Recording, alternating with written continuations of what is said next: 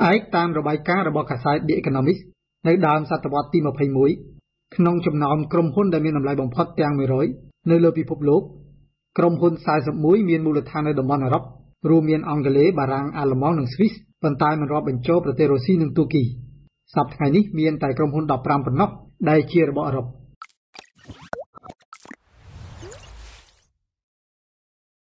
ក្នុងមួយទសវត្សរ៍មុន ក្រុមហ៊ុនអឺរ៉ុបដូចជា Nokia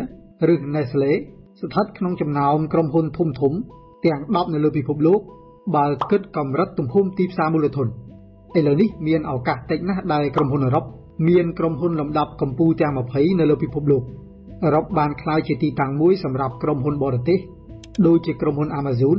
និងក្រុមហ៊ុន TikTok ស្វែងរកអតិថិជនរបស់ខ្លួនវិញ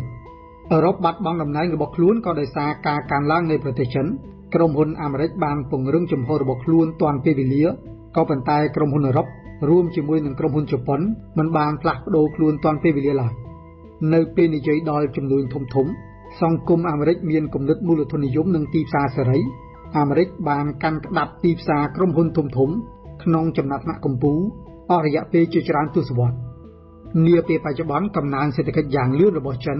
បានធ្វើឲ្យការប្រកួតប្រជែងកាន់តែមានការផ្លាស់ប្ដូរ ក្រុមហ៊ុនចំនួន160ក្នុងចំណោមក្រុមហ៊ុនដែលមានតម្លៃបំផុតទាំង1000នៅលើពិភពលោកគឺមកពីប្រទេសចិនទំហំនេះបានកើនឡើង4ដងក្នុងរយៈពេល2ទសវត្សរ៍ចុងក្រោយ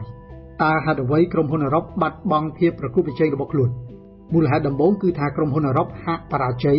ក្នុងការគ្រប់គ្រងចាត់ចែងគេអាចក្រឡេកមើលក្រុមហ៊ុនដែលប្រជែងគ្នាក្នុងវិស័យតែមួយក្នុងរយៈពេល20ឆ្នាំចុងក្រោយប្រកាសណាស់អាចមានករណីលើកលែងជាច្រើនចំពោះរឿងនេះ ជាឧទាហរណ៍ក្រុមហ៊ុន Simon របស់អាល្លឺម៉ង់បានប្រជែងជាមួយនឹងក្រុមហ៊ុនអាមេរិក General Electric ហើយក្រុមហ៊ុន Airbus ដែលមានមូលដ្ឋាននៅក្នុងប្រទេសបារាំងមានបញ្ហាតិចនិងធ្វើបានល្អជាងក្រុមហ៊ុនអាមេរិក Boeing ប៉ុន្តែបើមើលជារួមក្រុមហ៊ុនអាមេរិកនៅតែល្អប្រសើរជាង ជាឧទាហរណ៍ក្រុមហ៊ុន Nike ប្រៀបធៀបជាមួយនឹងក្រុមហ៊ុនអាល្លឺម៉ង់ Adidas ក្រុមហ៊ុនអាមេរិក JP Morgan ប្រៀបធៀបជាមួយនឹងក្រុមហ៊ុន Swiss Credit Suisse ឬក៏ក្រុមហ៊ុនអាមេរិក Walmart ប្រៀបធៀបជាមួយនឹងក្រុមហ៊ុនបារាំង Carrefour សម្រាប់មូលហេតុទី2អឺរ៉ុបធ្លាក់ចុះនៅទសវត្សរ៍ចុងក្រោយនេះគឺដោយសារក្រុមហ៊ុនអឺរ៉ុបធំធំស្ថិតក្នុងវិស័យខុសវិស័យដែលក្រុមហ៊ុនអឺរ៉ុបត្រួតត្រាកាលពី20ឆ្នាំមុនដូចជាធានារ៉ាប់រង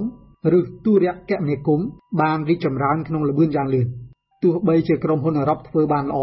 ក៏ក្រុមហ៊ុនទាំងនោះទទួលបានផលសេដ្ឋកិច្ចតិចតួចដែរនៅពេលពិភពលោកផ្លាស់ប្ដូរខ្លាំងផ្ទុយទៅវិញអាមេរិកបានផ្លាស់ប្ដូរខ្លួន និងផ្ដោតលើវិស័យបច្ចេកវិទ្យា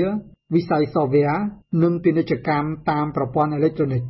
វិស័យទាំងនេះបានផ្លាស់ប្ដូរសេដ្ឋកិច្ចពិភពលោកនិងបានបង្កើនប្រាក់ចំណេញរាប់ពាន់លានដុល្លារអាមេរិកមូលហេតុចុងក្រោយគឺគួរឲ្យចាប់អារម្មណ៍បំផុតដែលអឺរ៉ុបដើរយឺតជាងគេគឺដោយសារក្រុមហ៊ុនអឺរ៉ុបខ្វះការបង្កើតថ្មីដោយមនុស្សក្មេងៗចំនួនក្រោយ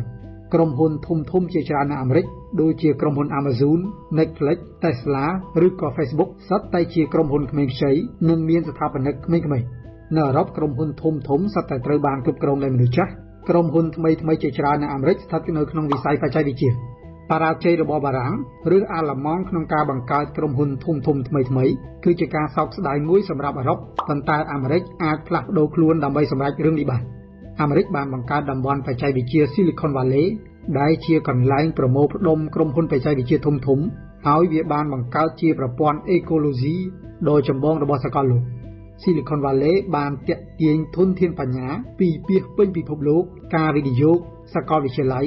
និងវិទ្យាស្ថានស្រាវជ្រាវធំធំ ដែលជាកត្តាចម្បងបំផុតក្នុងការច្នៃប្រឌិតសរុបជារួមអឺរ៉ុបធ្លាប់ជាដែនដីនៃការច្នៃប្រឌិតគំនិតថ្មី និងក្រុមហ៊ុនយក្សធំធំក៏ប៉ុន្តែក្រុមហ៊ុនអឺរ៉ុបបានបាត់បង់អានុភាពរបស់ខ្លួនយ៉ាងខ្លាំងប្រៀបធៀបជាមួយនឹងអាមេរិកនិងចិននៅប៉ុន្មានទសវត្សរ៍ចុងក្រោយ។